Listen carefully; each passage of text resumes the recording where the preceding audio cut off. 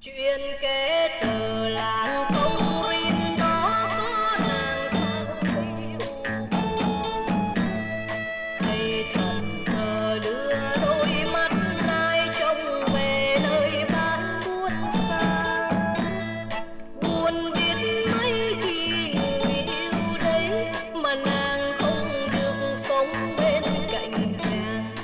siestes électroniques, que ce soit à l'étranger ou que ce soit euh, en France, euh, aussi bien à Toulouse qu'à Paris, il s'agit toujours d'organiser des événements dans l'espace public, dans des parcs publics en particulier, et il s'agit dans la mesure du possible euh, d'inviter des musiciens, de présenter des musiques qui ne seraient pas présentes à Toulouse si on n'était pas là pour déclencher la rencontre. Et en fait, cette recette-là, plein air, programmation inédite, propulsée à un auditoire très très large, très divers, grand public, on applique stricto sensus cette recette-là à nos événements à l'étranger et en particulier euh, à notre événement au Vietnam.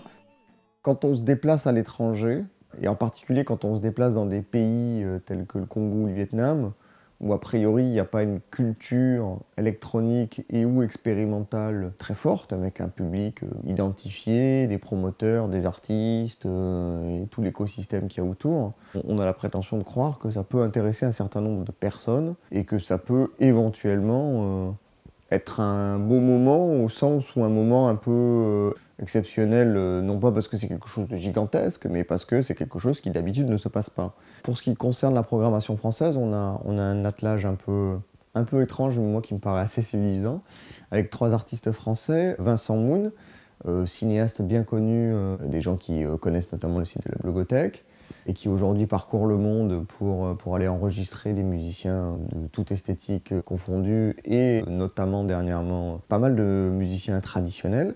Laurent Jeannot, qui lui, en fait, est un, dans une certaine mesure, un ethnomusicologue, si ce n'est qu'il n'a pas une sorte de diplôme euh, pour ça, mais il a sorti plus de 150 disques où il est allé enregistrer lui-même un nombre incroyable de choses très très belles, de musique de minorités d'Asie du Sud-Est. Et Jean Nippon, célèbre DJ pour clubbeur parisien, qui est un audiophile et un glouton en fait de musique toujours confondue, et qui a notamment un certain penchant quand même assez fort pour l'Asie.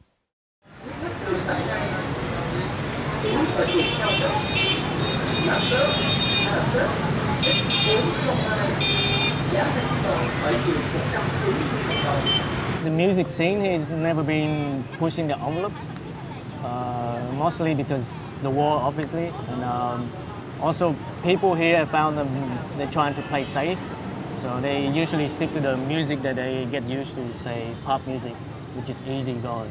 most of Vietnamese people they prefer to hear something with a melody and they kind of have an allergy with the noisy sound.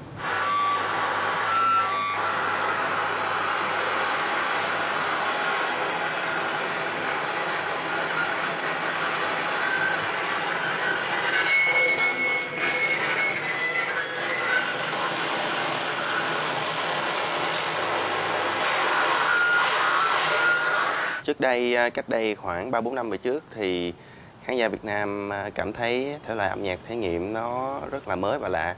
Thì à, đa số là những à, chương trình âm nhạc tổ chức ở đây thì đa số là người nước ngoài họ đến xem nhiều. Nhưng mà gần gần đây gần đây thì là cũng đã có người Việt Nam, cũng đã có rất nhiều người Việt Nam đến đến xem. most of them they uh, they said that is uh, difficult to listen and uh, also they asked me that um, why you have no singer there So the audience of the experimental scene is, is a small group of people who are interested in this thing. And to be honest, the, audi- the size of the audience and the size of the, the, the number of musicians that do it are almost equal. Sometimes that's how it feels. yeah. Um, but, but the audience who, who come to it and who enjoy it and who are interested in it are very uh, enthusiastic.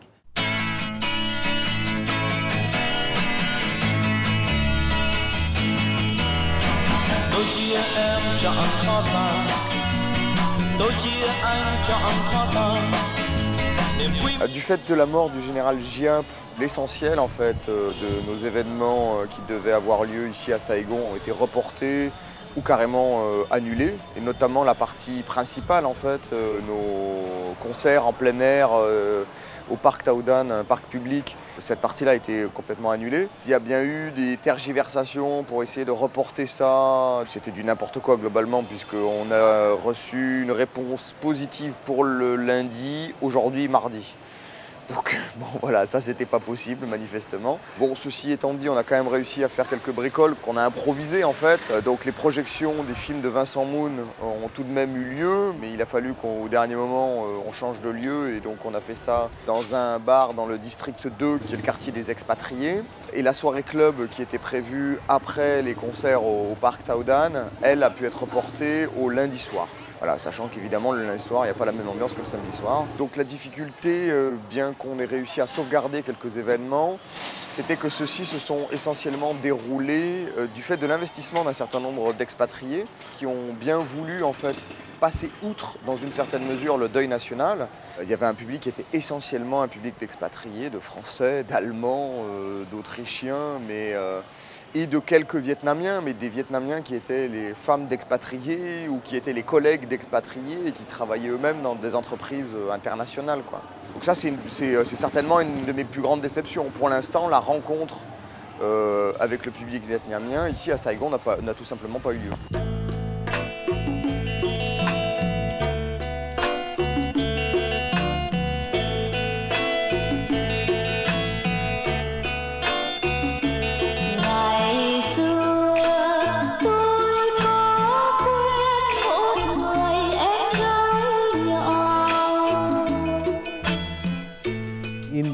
Academic music, they uh, still keep classical system.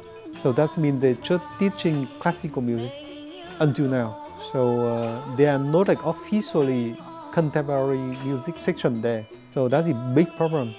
So I, I want to do something there, but it's not easy. At my age, the problem is that I cannot have a CD. At that time, we have no internet, so I have to ask friends who come from outside back here, please uh, give me some CD, some new CD like that, something like that. So they just give me for a week and I have to bring the CD back.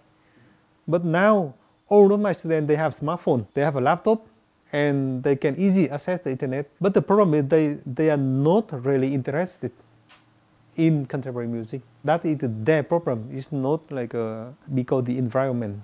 There's very lack information about contemporary music, also lack uh, a subject about contemporary or experimental music in the curriculum of the mainstream music organization or institution or colleges.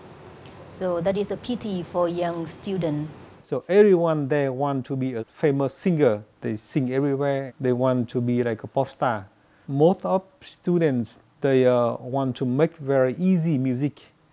So easy listening, like a just songwriter and do arrangement for, for the pop music and become like a famous or making money. mainstream music, commercial music, I don't listen to it anymore because it's it's uh, super very way much affected by Korean and Chinese music. And all songs are pretty much the same from melody to the lyrics. The lyric is so freaking boring. It's yeah, it's all the same about love and breakup and, and things like that. But the V-pop scene is massive, and a lot of it is quite, you know, lighthearted. So that's why people love it. Uh, we Vietnamese people are generally romantic. people here want to listen uh, a singer, like a, a young girl singer. We call that a hot girl singer. so they just look at her Euh, Après avoir passé euh, les, les 12-15 dernières années essentiellement en Asie, c'est une évidence que les musiques euh, nouvelles d'ordre commercial ici sont une bassesse absolument ridicule et que je peux avoir aucun respect pour la pratique de karaoké, pour les musiques commerciales telles qu'elles sont développées, et que les seules pratiques musicales vraiment profondes, où il y a une vraie émotion, où il y a une vraie sincérité, où il y a un vrai résultat d'ordre musical, c'est les musiques de minorité. I will start with um, a little short film. I think it's gonna be three little songs.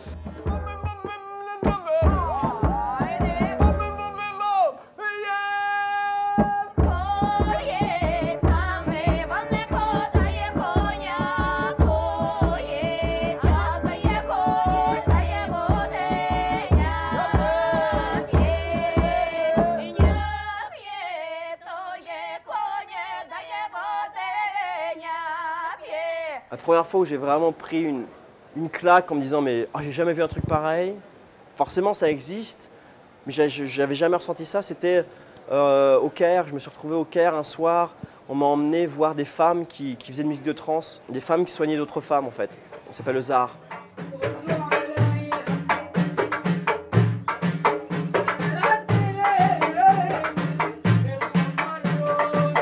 Monde rentrait en transe. Il y avait vraiment une sorte de, quelque chose qui se passait dans la salle qui m'a bouleversé le premier soir où j'étais là-bas. Et surtout, il y a un truc qui, a changé vraiment mon rapport euh, à ma façon de penser à la musique, c'est que dans cette salle-là, ce soir-là, il n'y avait pas de spectateur possible en fait. C'est-à-dire que la position de spectateur était rendue vraiment caduque par l'expérience. Ce n'était pas une musique qui était en représentation. Et je pense que ce soir-là est quelque chose qui m'a vraiment euh, bouleversé et que je n'ai jamais oublié, que j'ai toujours euh, continué depuis à chercher sur les routes du monde.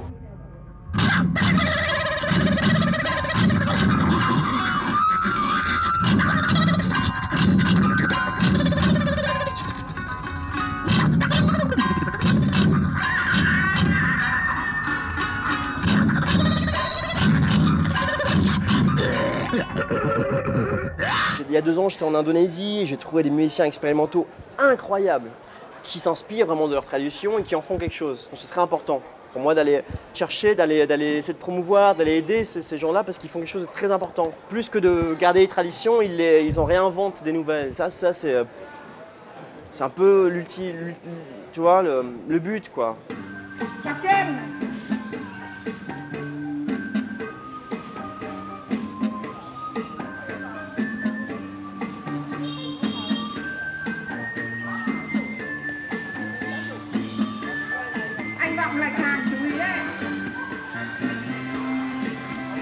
Les scènes musicales euh, dans les pays occidentaux ont sans arrêt, comme l'art contemporain, comme quantité de, mouvements culturels à droite à gauche, ont sans arrêt besoin d'être relancés, qu'il y ait un renouveau, parce que sinon ça stagne. Le rock euh, stagnait, on envoie une vague punk. L'électronique stagne, on revient à une vague rock. Moi, euh, ce que je fais, c'est vraiment une niche. Autant en termes de musique, des enregistrements originaux, que la pratique de retravail, d'élaboration de paysages sonores expérimentaux. Dans les deux cas, c'est quand même des niches, c'est des tout petits marchés. Alors effectivement, il y a un petit intérêt comme ça, c'est pour les gens curieux, mais je pense que la curiosité vient de la lassitude. À quel moment les gens saturent et vont vers autre chose? Aujourd'hui, je pense que notre génération se définit vraiment par ça, par un, un désir de renouer effectivement avec quelque chose de très ancestral, je dirais même très tribal.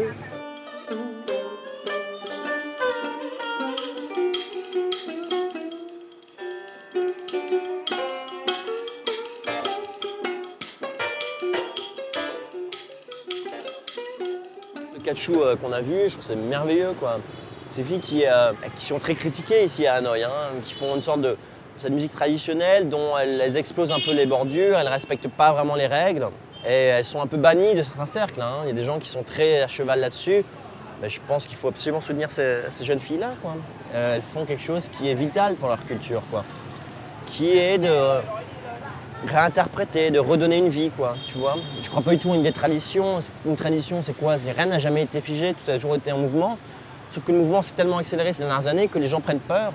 Il faut juste essayer d'aller avec le flow et de, croire que oui, que dans ce mouvement, dans ces changements, on peut pousser les choses vers, encore plus de beauté, quoi, et, et notamment une sorte de plus grande conscience des gens de leur propre, leur propre terre.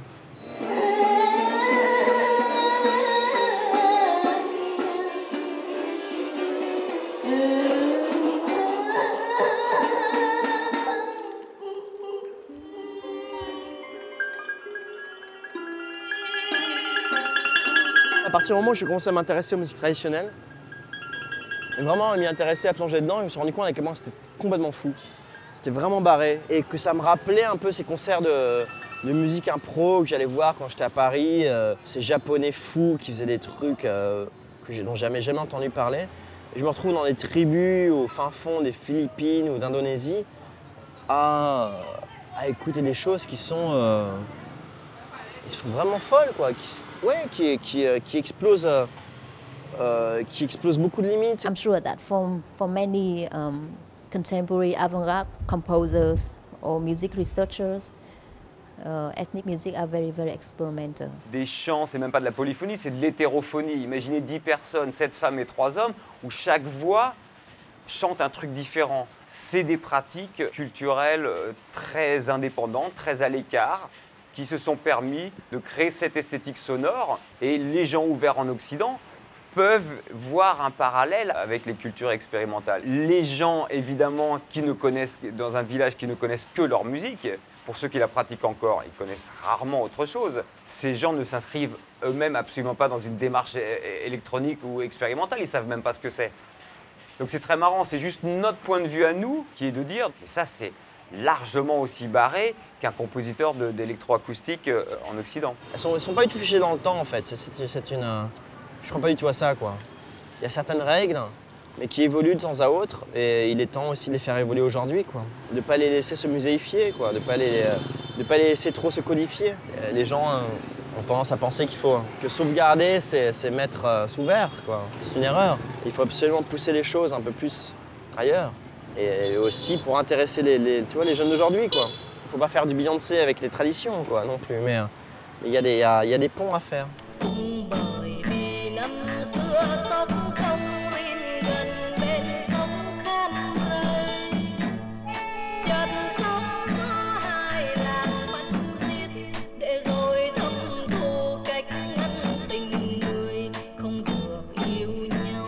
For, our concert, I, I changed to do more melodic because you know for the uh, open audience here, and most of them they have no knowledge about contemporary experimental music.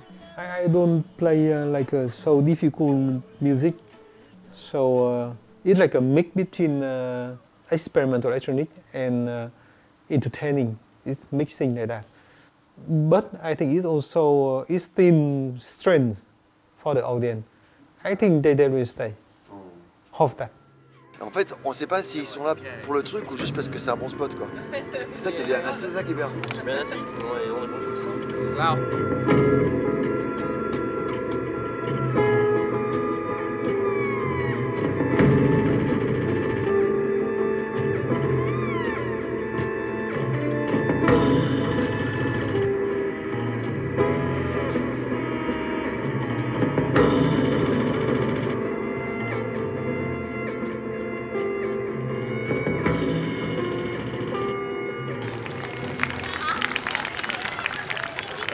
M'appelle euh, Vincent Moon, je fais des films sur la, musique dans le monde euh, depuis une dizaine d'années. J'ai décidé de faire une questionnaire autour de la bénédiction dans le monde, d'aller chercher des chants, principalement chamaniques et des rituels animistes du monde entier, des mélanger ensemble.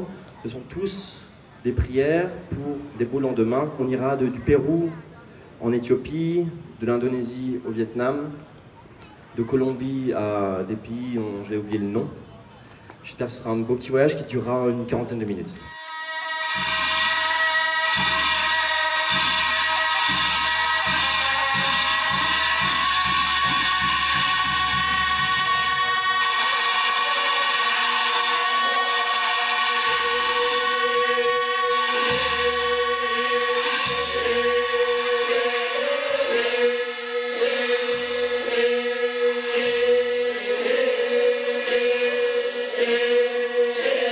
L'enregistrement ethnographique, comme tout au long du XXe siècle, il s'est fait, il s'est fait dans quasiment le monde entier. À vrai dire, c'est même assez rare de trouver une musique qui n'a pas été enregistrée aujourd'hui. C'est bah, impossible, à vrai dire. Simplement, ces enregistrements-là n'ont pas été rendus disponibles. C'est plutôt ça le truc, c'est que euh, c'est resté dans les cercles fermés, les cercles élitistes, académiques souvent. Et je me suis souvent, très souvent retrouvé, que ce soit en Éthiopie ou au Pérou, ou, euh, à demander aux gens euh, s'ils avaient des enregistrements de leur musique. Et ils m'ont fait Ouais, on a été enregistré il y a 20 ans par un gars, il nous a jamais rien envoyé. Les ethnomusicologues ont une vision très carriériste où ces enregistrements, euh, s'ils ne sortent pas, ils finissent dans les tiroirs d'une université. Peut-être qu'à long terme, il y aura une demande des gens qui auront tout perdu, en termes de musique traditionnelle, qui voudront entendre la musique de leurs grands-parents. Et dans ce cas, c'est super que ces enregistrements existent et j'espère qu'ils y auront accès. Mais pour l'instant, on est dans une phase de destruction. Pour l'instant, la jeunesse ne veut pas de ça un bon musicien, un bon chanteur dans un environnement euh, traditionnel, dans un village de minorité, c'est une technique de drague. Mais maintenant, la drague est plus basée sur l'art d'un orateur, d'un bon chanteur ou d'un bon musicien. Elle est juste basée sur le fait, tu as une moto ou pas Donc voilà, la nouvelle génération se dit, pour avoir une petite copine, il suffit d'avoir une moto. Ça sert absolument à rien de connaître ces chansons euh, d'amour euh, puisque de toute façon, c'est plus comme ça qu'on obtient une fille. Il y a toujours un but, euh, il y a toujours une raison pour laquelle ces musiques sont faites. Il y a tous les chants liés à l'animisme, aux pratiques de pour avoir une bonne récolte, il faut faire une cérémonie euh, de, gong pour faire plaisir à l'esprit du riz. Mais à partir du moment où euh, vous balancez des engrais chimiques partout, vous comprenez rapidement que c'est l'engrais chimique qui va donner les meilleurs résultats et pas l'esprit du riz. Voilà, c'est un changement des mentalités. Ces musiques correspondent à une certaine façon de penser.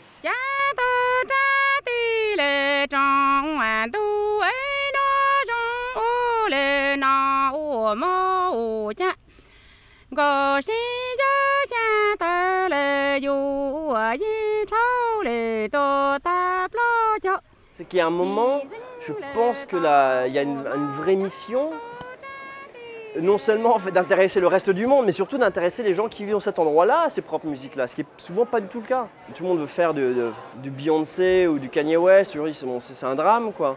À partir du moment où, en plus, un étranger va venir euh, dans leur pays faire les enregistrements, de, leurs grands-parents, euh, je suis assez persuadé que les jeunes de ce pays-là vont s'y intéresser. Les mecs vont se dire ah putain c'est euh, ah ouais genre c'est cool en fait, c'est cool pour vous ce qu'on fait là, enfin ce qu'ils font les grands-parents ah Il y a quand même plein de gens qui en ont rien à foutre des musiques ethniques, mais qui se sentent obligés, c'est le syndrome de l'ONG, de me faire des grandes tapes dans le dos et me dire c'est formidable ce que tu fais, tu préserves les musiques des indigènes. Mais je n'ai absolument pas le pouvoir de préserver la musique euh, des minorités. Si ça représente vraiment quelque chose d'important pour eux, ils vont la maintenir. Donc il y a aussi des gens dans les minorités qui me demandent pourquoi je le fais.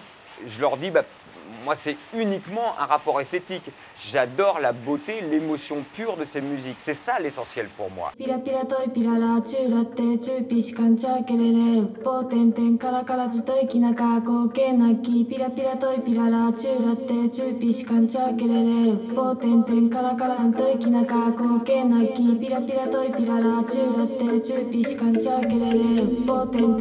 On avait fini donc le programme normal donc performance, euh, musique ethnique, euh, électronique, mélange, tout ça. Et euh, finalement, Samuel m'a demandé de vas-y, continue un petit peu. le Parti communiste autorise un peu une, une prolongation. J'ai dit ok. Et donc, sans, sans trop y croire, j'y allais un peu de techno que je mets dans, dans mes clubs en Europe.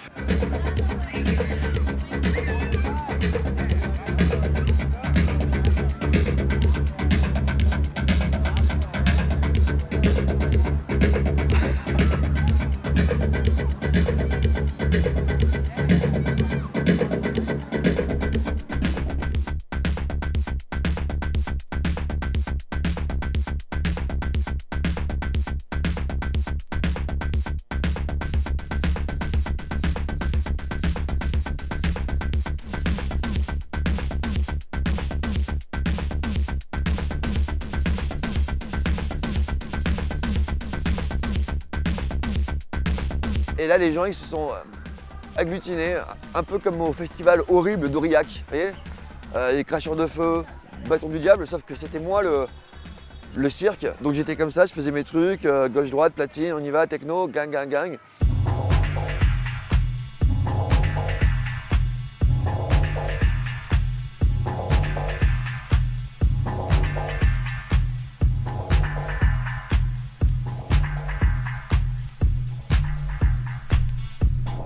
C'était assez marrant parce qu'on sentait qu'ils n'étaient pas forcément dedans, parce qu'ils étaient bras croisés, ils dansaient pas, euh, etc. Mais euh, les mecs sont peut-être restés une demi-heure à regarder ce qui se passait. euh, je sais pas trop trop ce qui se passait dans leur tête, mais, euh, mais c'est une aptitude qu'il faut cultiver. S'ils ont une curiosité naturelle, ça veut dire qu'on peut leur présenter tout un tas de choses et ensuite ils choisiront ce qui les intéresse, ce qui les intéresse pas. Mais, mais cette aptitude-là, c'est quelque chose qu'on nous on essaye de développer en France. C'est pas évident et là naturellement on sent que euh, il se passe quelque chose, quoi que ce soit, même si c'est très très très loin de leur, euh, goût euh, esthétique, eh ben, ils vont quand même y aller, ils vont quand même voir, ils vont quand même rester, ils vont quand même essayer de comprendre. Ça c'était très, très agréable et très appréciable.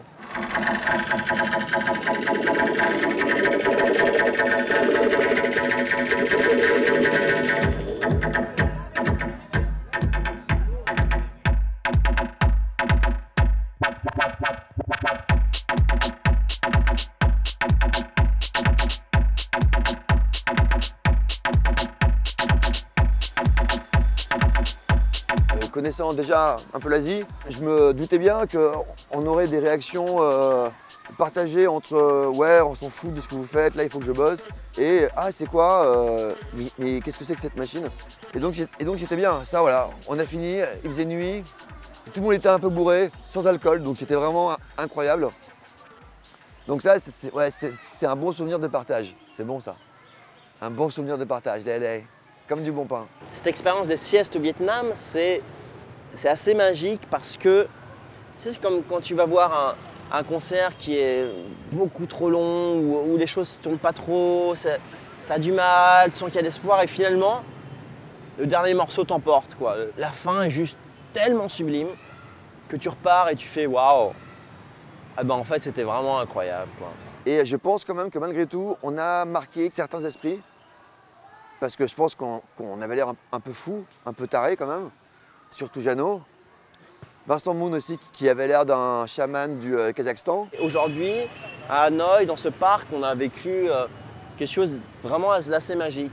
Et il, y a eu enfin cette cohésion, cette communication avec, euh, la culture vietnamienne et, tous, ces, Vietnamiens qui étaient là dans, ce parc, en train de faire le jogging, qui fait du bodybuilding, qui, ces gamins qui tout d'un coup sont tous intéressés à ces musiques-là. Une sorte de curiosité, euh, justement, qu'est-ce qu'on foutait bien. Ah, c'était beau, c'est très poétique. Et je pense que c'est important parce qu'on va repartir sur cette image-là. Fuck you, good night